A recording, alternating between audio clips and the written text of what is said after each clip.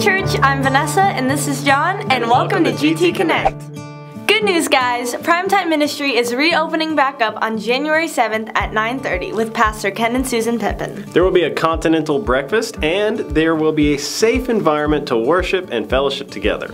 Youth are going to be going back to school 2021 for the spring term, and we want to have a back to school party for all youth age kids, that's middle and high school.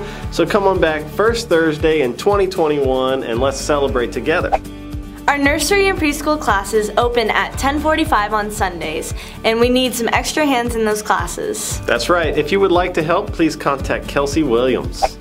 There's a lot of exciting things happening around here, especially online. We have our Monday through Friday interactive prayer with Pastor. We've been seeing a lot of praise reports come out of that, and praise the Lord.